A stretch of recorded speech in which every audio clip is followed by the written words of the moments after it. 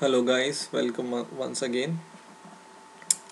In the last video I have shown you how to sign up in the Weebly website and how to create your domain name and then create your title. In this video I will show you how to use these tool bars options to make your website and get started with your website. So before showing these things to you first thing I want to let you know is if you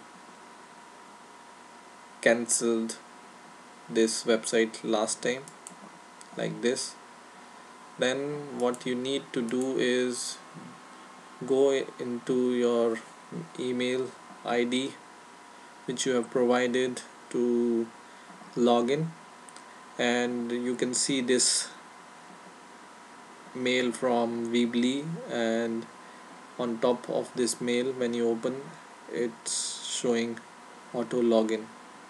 If you don't auto login or if you don't click this auto login it will not create your website. So if you haven't done that just go to your email id and just click this auto login button.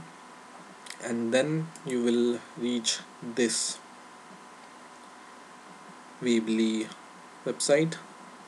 And here you can see a website. And if you can if you click this option for edit you can start editing your website or you want to make another website from here. Sorry. From here you can just click and you can make another website you want to make. So maximum of two website you can make for free using one email ID I will just delete the site. So I will be having only one website which I have created in the last video. So here is my website programmingknowledge.weebly.com and I click edit here. And it's taking some time to open and here. So last time I have provided a title to my site and this small title to my site. And if I haven't described you that this now I will describe. So eh, this toolbar looks like this and from if you go and click basic and you can drag these options and release it there and you can provide your title. So for example I will provide my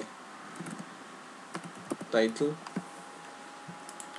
from here. So it's just drag and drop and this is also one important option custom HTML I will be showing you some HTML codes also simple HTML codes which will include JavaScript and HTML so uh, you could be able to learn some HTML stuff from this website making site also. So this is the basic toolbar. If you go to multimedia you can see you can add photos slideshows files and maps and YouTube videos also.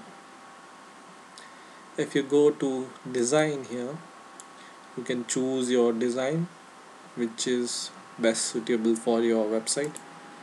Like this if I choose my website will look like this or if I choose this my website look like this. So it's up to you what design you want to choose. Weebly has so many design options. In the third tab it's the page tab and in this I only have one page. But in the future I will show you how to create more pages here. And then it has editor which I will show you in future. And then it has setting options. So if you want you can change your website name by clicking here change site name. And if it, it's available on Weebly then you can change your website name. You can even change your title. You can also upload your Fabi favicon this is a pro option so you need to pay for it. So right now I just want to make a free website so I won't I don't go for these options. And it has other options also search engine optimization and Google analytics tracing code also and header code so if you are if you have your account in Google Analytics you can just paste your code and you can see your traffic and other features also here. E-commerce setting. If you are lucky enough and your website is visited by thousands or millions of viewers then you can earn money from this Weebly website that I will also show you in future. For mobiles option if you want to enable then you can choose this option. And you can even download your code of the website. So if some server crashes or if some Weebly server crashes then you have the code of your website. So you can even save your code for the website from here. It's the be- best very good options and probably you must save this every month in order to save your work. So I will go to the basic. And here is the option to earn revenue so if you want to earn something you can add Google AdSense to your account. This will also I will show you in future. And there are some more options here like feed reader or you can add your contact form or button blog quote and online poll. So many things you can add to your website. So here is my title and here I want to give this description whatever I want to give. So just drag and drop these options and start your first page descriptions and all. So that's all for this video. I hope you have learned something new this time. And please rate comment and subscribe. And bye for now